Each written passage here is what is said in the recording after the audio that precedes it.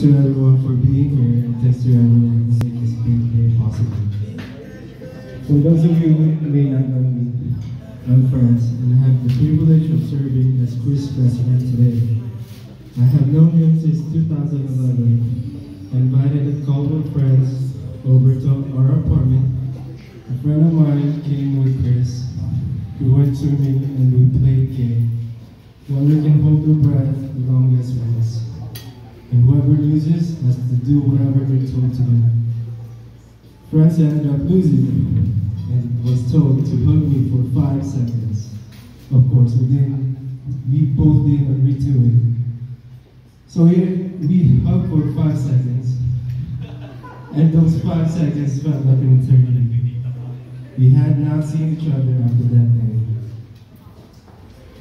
A year later, we meet again at a party when I saw him. Remember our first meeting flashed back in my head. I couldn't help but cringe. We both nodded our heads as a way of saying, I know you, and we're cool. Some, somehow we started talking about cars and we found out that we both drive a Honda Civic coupe, except mine was red and his car was black. From there, the conversation just kept going, and that's when we found out that we both share common friends.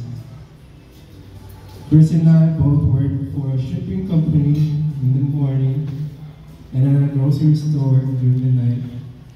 Chris gets off earlier than me and he would go, he would go to my place, my workplace, and wait patiently in his orange convertible Mitsubishi Eclipse. We would drink beer together outside his apartment parking lot and we'd talk about how they, how our day went and talk about all our problems despite the weather condition. That's the reason why we could relate to each other better than anyone else. I've been friends with Chris for nine years. Thank you for your friendship. Being your best man is a privilege of a lifetime. Over the long years of our friendship, I've never seen Chris so happy. Leah, True makes you better person. For making him happy and bringing that smile to his face, thank you. I cannot express how glad I am that you two found each other and have decided to embark on this journey of life together.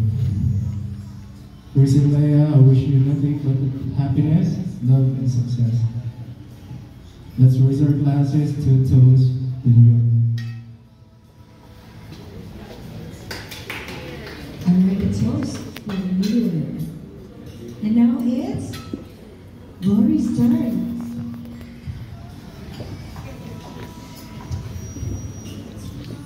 So hi, I am Leah's best friend. So in all fairy tales, there's a fairy godmother, or the knight in shining armor, or the lady who will give you magical powers, and that's not me, of course. so I am the tiny animals in Cinderella, or one of the dwarfs in Snow White, or the tiger or dragon in Mulan. I'm the third wheel in every story, especially on your story. Leah's and Christopher's story. So I saw them from the beginning of their love story in the middle of all their years living together, glad I witnessed them opening another page of their life together as a married couple. I am happy that they found each other, and I salute the love and friendship they have found for one another. I am not a fan of weddings and commitments, but with them, sometimes I wish I'll find and I'll be able to write a love story as precious as theirs. I hope that now it's finally official. You never lose what you have from the beginning. The perfect communication, the never and, the, and never forget to compromise with each other. You'll encounter challenges and might see shortcomings, but it's part of it. And I know for sure you'll overcome every single one of it. That's how confident I am that you will, because I know you'll it together. Congrats, and you know that I love you both. With all our busy schedules, you know that I will always be here for you.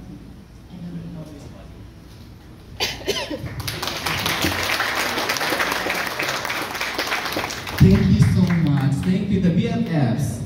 Okay. Ah, oh, pakiinom na lang yung toast. Hindi kayo pinos. Oh, yes, okay. Thank you, Larry. And